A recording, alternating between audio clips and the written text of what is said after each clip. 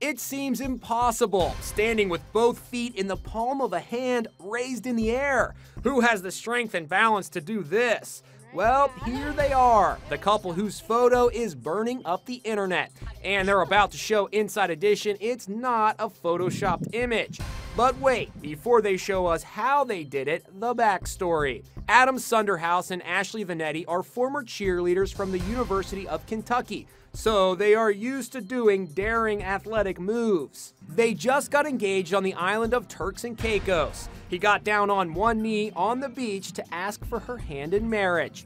After saying yes, up in the air she went. They posted the photo, and overnight it was burning up the internet, and most folks couldn't believe what they saw.